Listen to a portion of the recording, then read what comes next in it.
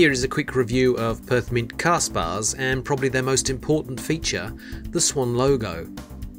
Firstly, because there's no complex minting process involved, fabrication costs can be kept to a minimum. So these bars represent one of the most cost effective ways of acquiring pure gold and pure silver. They come in a wide range of sizes. In gold you have 7 weights to choose from, while in silver you have a choice of 3. The bars are extremely popular and get traded quite regularly, sometimes resulting in dents and scratches along the way. Most investors don't see this as a problem and understand that if you want a perfect finish, then coins are the way to go. Really much more important is the logo, either the old or the new version, which is our London Bullion Market Association mark.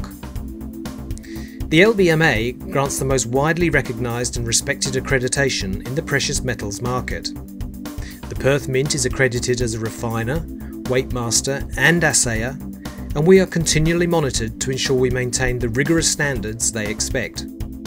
Consequently, the LBMA lists the Perth Mint as an accredited manufacturer of gold and silver good delivery bars.